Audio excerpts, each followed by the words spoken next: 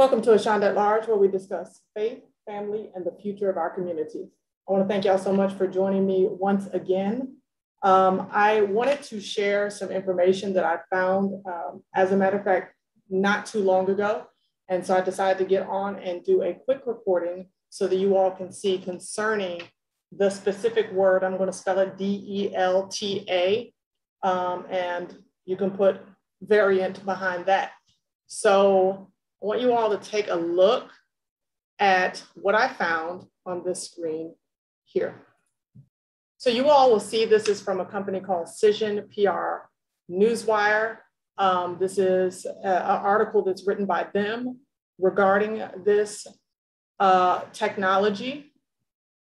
And it says Delta launches new energy, efficient solutions for 5G and lot edge computing e-mobility and smart manufacturing at its digital exhibition. Now, this article was written on July 17, 2020. So this was a little over a year ago when this article was written.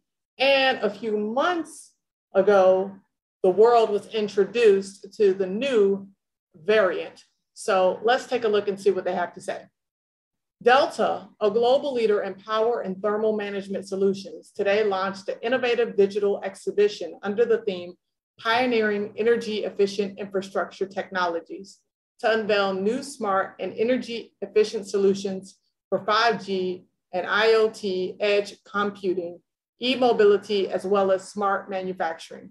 These include the Smart Node modularized data center solution for fast and flexible implementation of energy efficient edge computing data centers. Okay, so it's telling you what the push is for, specifically the number five and the word and the letter G. Okay, stick with me, people. You understand what I'm talking about. Commenting on DELTA EMEA's innovative digital exhibition, Dr. Dalip Sharma, President and General Manager blank for Europe, Middle East, and Africa explained, during the current pandemic environment, we stay ahead of the curve by providing an innovative and sustainable platform to present our pioneering energy efficient infrastructure technologies.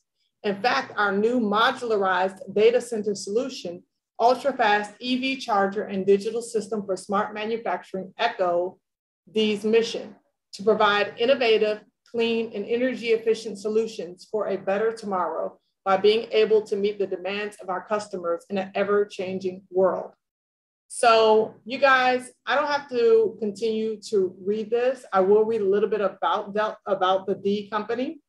It says D, founded in 1971, is a global provider of switching power supplies and thermal management products with a thriving portfolio of smart energy saving systems and solutions in the fields of industrial automation, building automation, telecom power, data center infrastructure, EV charging, renewable energy, energy storage and display, to, to nurture the development of smart manufacturing and sustainable cities. Do y'all hear that? Sustainable cities.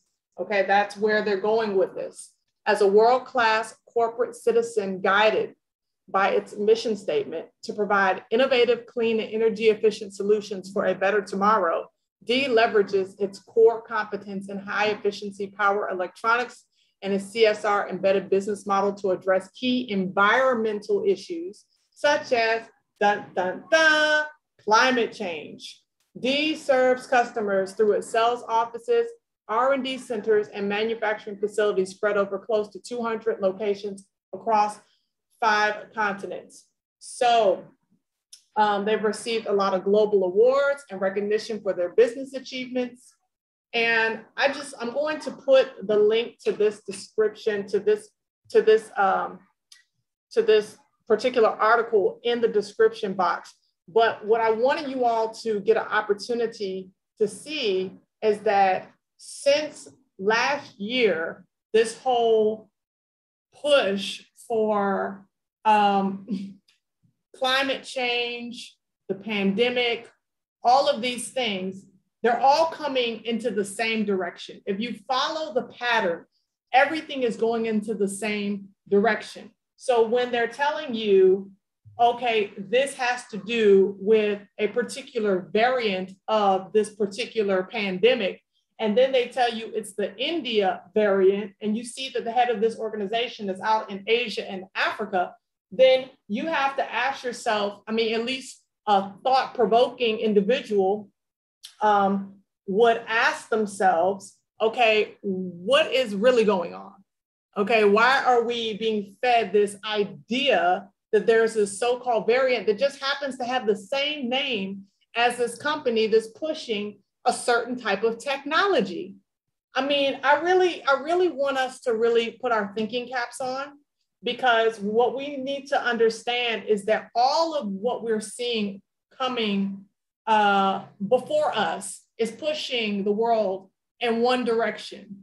And that direction, whether we like it or not, is to take the, the essence of the Most High, the essence of the, the, the, the, the, the, the being in the likeness and the image of the Most High completely out of humans. Okay? This is what the push is about. It's all about this transhumanism stuff. It's just like Yahusha said, that is, as in the days of Noah, so shall it be before the coming of the Son of Man.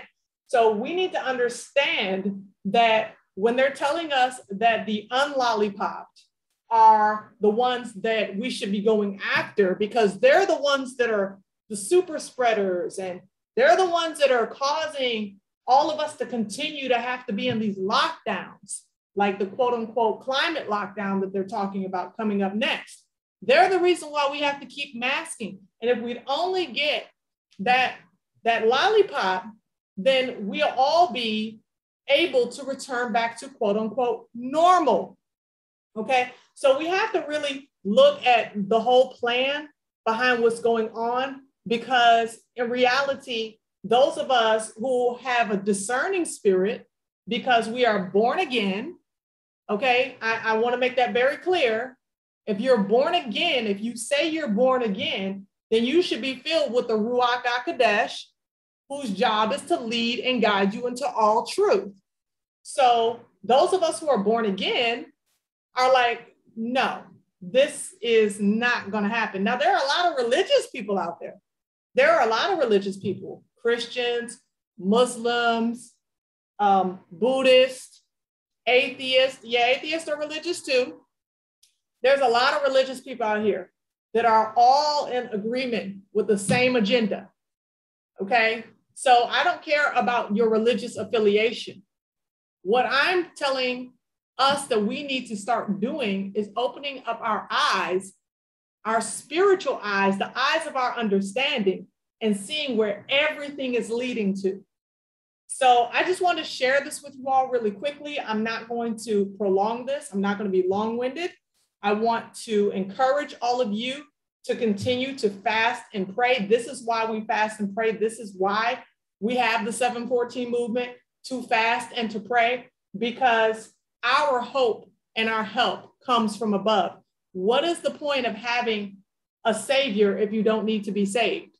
Understand the Most High is allowing us to be put into a perfect storm so that we might put our full faith and our full trust in Him for the days ahead. So, guys, that's all I have for you all today. Be sure to check out our website at 714movement.com. That's www.714movement.com and get great content that's going to minister to your spirit in this day and this time. Um, as always, family, love yourselves without hating your enemies. And until next time, family, Yah bless and Salamah.